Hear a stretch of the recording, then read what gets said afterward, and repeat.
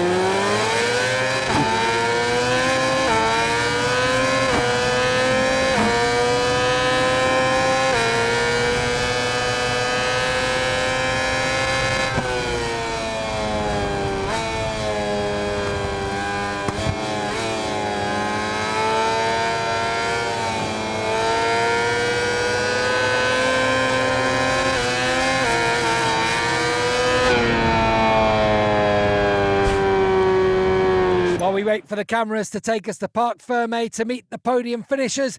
Let's take a quick look at the final standings.